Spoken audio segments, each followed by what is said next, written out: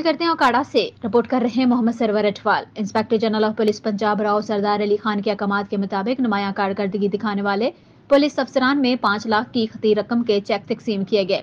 तकसीम इनाम की तकरीब डीपी ऑफ़िस में मुनद की गई।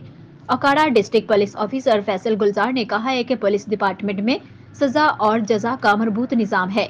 इस तरह चेक एंड बैलेंस और नुमाया कारकर्दगी पर हौसला अफजाई से मस्बत असरा सामने आते हैं। एक खती रकम इनामत के तौर पर तकसीम की गई है ये सब कुछ आई जी पंजाब, राव सरदार अली के विजन की वजह से ही मुमकिन हो सका है। इन ख्याल का इजहार उन्होंने एक तकरीब से खिताब करते हुए किया। तकरीब में इकतीस पुलिस अफसरान और मुलाजमीन को बेहतर कारकर्दगी की बुनियाद पर पाँच लाख रुपए की रकम के चेक तकसीम किए गए। District police officer Faisal Gulzar ने कहा कि आईजी पंजाब राव सरदार अली ने तरक्की और तंजली के अमल को भी कारकर्दगी से जोड़ दिया है।